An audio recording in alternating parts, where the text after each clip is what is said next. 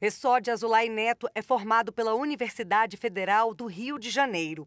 Ele foi advogado concursado da extinta Estatal Telecomunicações do Rio de Janeiro, a Telerge, antes de se tornar desembargador federal em 2005.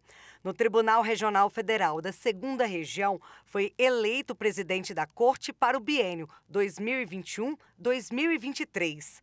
Também atuou por 14 anos na primeira sessão, especializada em direito penal e previdenciário.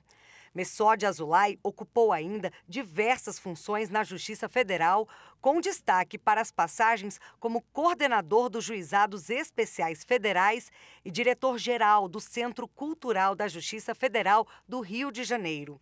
No meio acadêmico, foi professor universitário e hoje é membro titular do Instituto Ibero-Americano de Direito Público.